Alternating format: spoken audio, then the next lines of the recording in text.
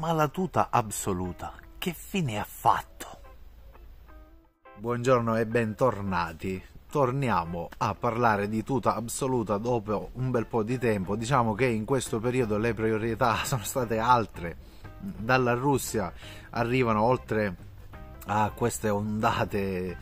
di, di, freddo arrivano anche effetti collaterali molto pesanti della guerra Russia appunto Ucraina di cui noi non ci occupiamo, non ne parliamo, però ci sono delle novità, dicevo, riguardo alla tuta assoluta. Mi sto trattenendo perché prima voglio essere sicuro dei risultati positivi e ulteriormente positivi rispetto a quelli ottenuti gli altri anni e vi voglio anticipare qualcosa in questo video.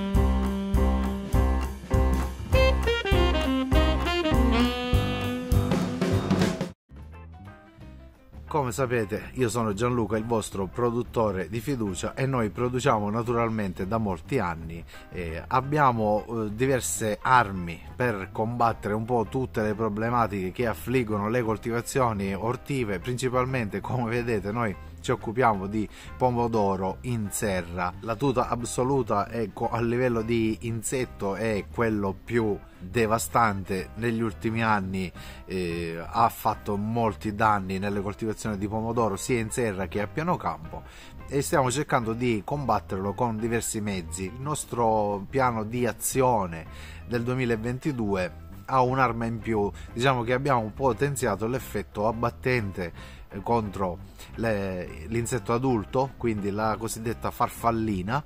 E, e abbiamo anche, proprio scoperta recentissima di oggi, abbiamo visto che stiamo riuscendo a combattere anche diversi stadi della larva anche all'interno della foglia che è una cosa eh, molto importante come sapete la tuta assoluta depone le uova sulla pianta sui frutti sulle foglie e poi la larva quando neonata si va a nascondere se vogliamo all'interno della foglia o fa i buchi nei frutti. Insomma diventa un po' difficile da andare a raggiungere con qualsiasi tipo di trattamento.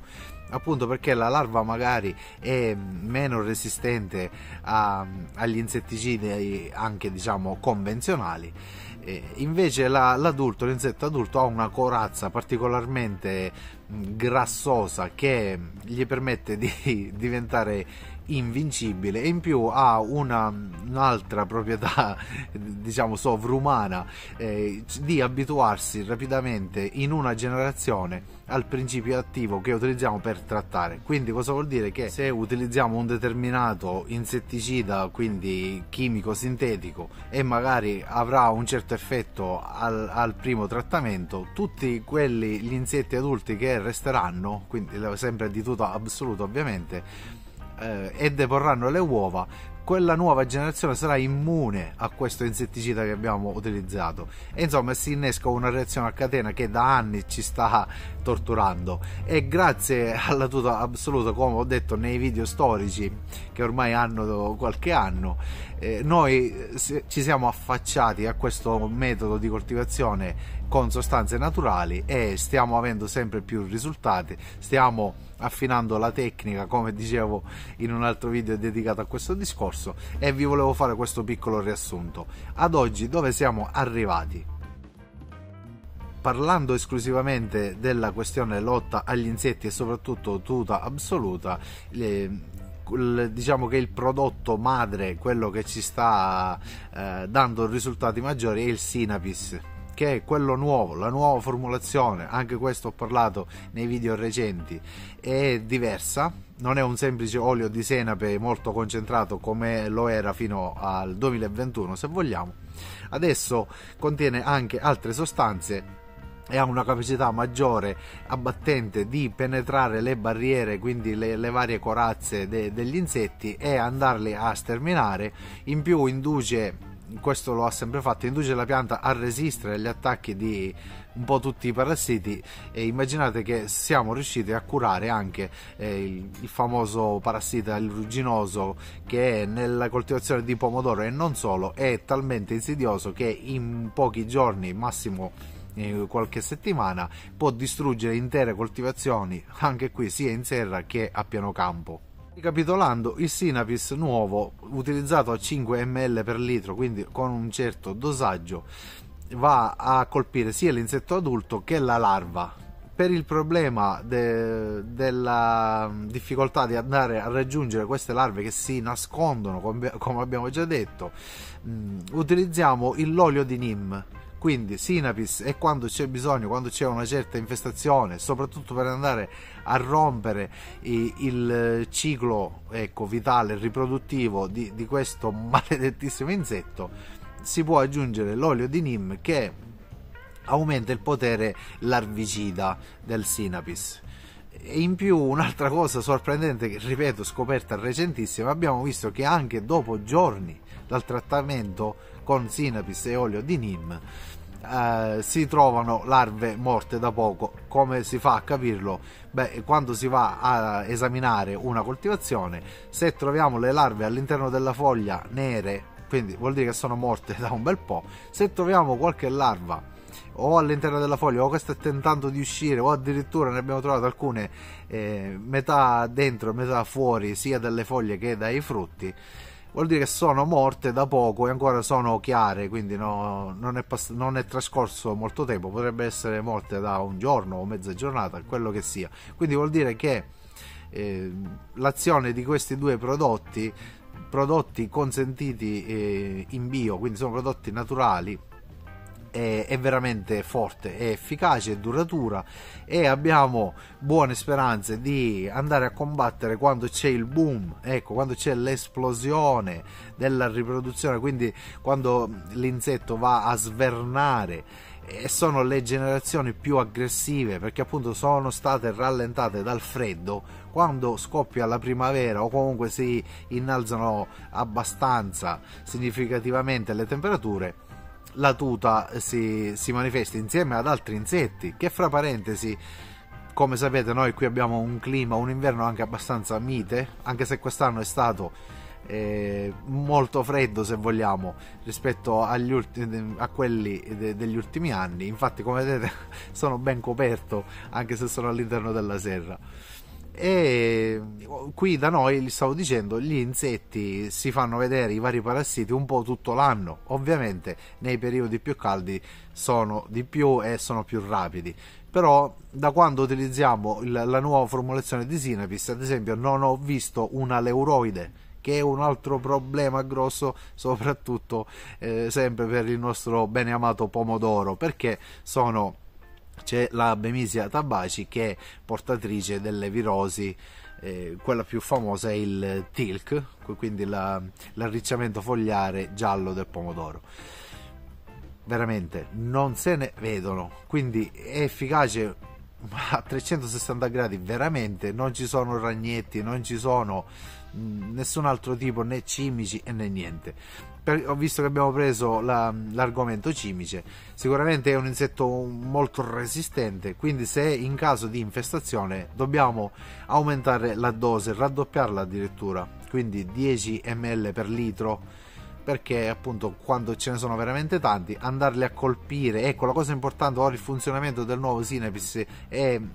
molto di contatto quindi quando facciamo i trattamenti cerchiamo di bagnare bene meglio possibile la nostra coltivazione così da andare a raggiungere un po' tutti questi nostri nemici anche se sono nascosti o al riparo dalle foglie e, e via dicendo.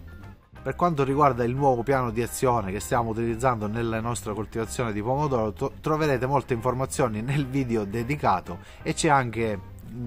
qualche post dove si possono considerare delle schede tecniche proprio di come andare ad operare eh, con questi trattamenti. Quindi li trovate in descrizione date un'occhiata. Già che ci siete fate un altro piccolo sforzo se non l'avete già fatto e iscrivetevi al canale perché è gratuito non si paga. E quindi mi potete aiutare a continuare con questa divulgazione in questo senso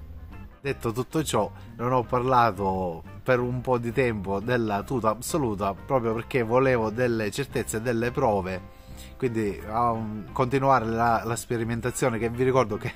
è alla base di tutto, che non deve fermarsi mai. E non ne ho parlato non perché così non volevo, infatti qualcuno ha chiesto anche nei commenti. Ehm, poi parlando anche in privato con i colleghi o via più o meno vicini, ecco. E c'è chi pensa no, quest'anno tuta non ce n'è, quest'anno se ne vede poco, quest'anno non ci sarà, quest'anno e poi qualcuno invece è più preoccupato, ma già si vede eh, qualcosa. Quindi il discorso secondo me è sempre lo stesso. Ora, ad esempio, andiamo un po' a vedere cosa è successo. L'estate scorsa, quindi l'estate 2021 è stata molto calda e abbiamo avuto un caldo, se vogliamo, torrido, secco, che non piace assolutamente al nostro insetto preferito perché è un insetto subtropicale. Come sappiamo è alieno giusto? Un insetto alieno che non è di qua, ma si è ambientato molto bene, soprattutto nelle coltivazioni di pomodoro, che bello. Ma in generale colpisce le sollenacee. È logico pensare che eh, le, le campagne autunnali, quindi dopo l'estate, non siano state particolarmente attaccate dalla tuta, anche se ho testimonianze di colleghi, mm, ripeto, vicini e lontani, che hanno visto la tuta assoluta fare dei danni, magari non eccessivi, sempre qualche foglia mangiucchiata qua, qualche frutto eh, trapanato là, eh, fino in tutto, insomma, diciamo, durante tutto l'autunno, quindi anche fino in novembre. E direi che questo già ci fa capire che comunque già si sta ripopolando Adesso, se vogliamo, eh, abbiamo visto anche che sia in fine autunno c'è stato un freddo abbastanza precoce, se vogliamo, e tutto l'inverno eh, siamo stati accompagnati anche qui dal freddo gelido che arriva, che entra dai Balcani ma arriva dalla Siberia, insomma. E anche qui di conseguenza è facile capire che con le temperature abbastanza sotto media, visto che è un insetto che gradisce il caldo umido e delle temperature medio-alte, con il freddo rallenta tantissimo il ciclo vitale, già che era la popolazione delle, dell'adulto soprattutto era poca eh, in autunno, come abbiamo detto. In inverno il ciclo è molto lento, ma magari in inverno si abbassa la guardia. Ripeto, qui eh, da noi si coltiva tutto l'inverno, ma non solo da noi, in gran parte del sud. Quindi ci dobbiamo aspettare in primavera, non dico un boom esagerato come quello che c'è stato in alcuni anni, come nel 2020, è stato molto pesante. Chi uh, col- ha avuto coltivazione di pomodoro nel 2020 sa di cosa sto parlando. E mm, ci dobbiamo aspettare che ci sarà ci sarà ovviamente la nuova generazione svernante che sarà aggressiva che avrà voglia di andare a distruggere tutte le nostre coltivazioni di pomodoro soprattutto e non solo e, mm, perché si deve riprodurre molto rapidamente a quanto dicono gli, gli studi su tale insetto ormai mettiamo anche questo nel, nel mucchio questa famosa generazione svernante eh, ha una vita più breve, però è molto più rapida a,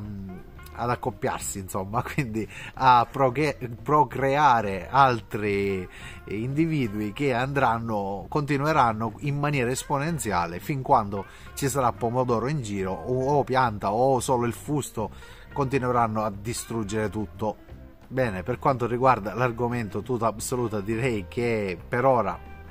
ho detto tutto. Voglio tenervi aggiornati e lo farò soprattutto ogni volta che avrò veramente delle prove tangibili in mano. Ormai manca poco, a breve dovrebbe entrare un inizio di primavera, quindi ci sarà questo famoso aumento sostanziale delle temperature e si vedrà cosa accadrà se i nostri trattamenti, come abbiamo visto finora, saranno efficaci, riusciremo a quantomeno a placare in maniera molto importante il fenomeno, quindi ad alleviare t- molto i danni e andiamo a capire che se si fanno dei trattamenti efficaci che riescono non solo ad abbattere l'adulto ma anche a distruggere la quasi totalità delle larve, si spezza un po' la catena e possiamo respirare, ecco, no? Abbiamo magari il tempo di mm, pensare a quello che dobbiamo fare, di lavorare, di andare a raccogliere questi pomodori che ormai sta diventando pesantissimo. Ovviamente non c'è solo la tuta assoluta nella coltivazione di pomodoro e questo lo sappiamo tutti molto bene. Quindi dai, mm, speriamo sia una notizia positiva, anzi molto positiva in questo periodo così difficile sotto moltissimi punti di vista. Va bene, io vi ringrazio tutti come sempre eh, basta. Vi ricordo di andare a guardare in descrizione iscrivetevi e voglio ringraziare anche qui come sempre tutti coloro che si sono abbonati al canale e mi stanno supportando eh, in maniera fisica eh, e per me è veramente importante. Grazie a tutti mi raccomando continuate a fare i bravi picciotti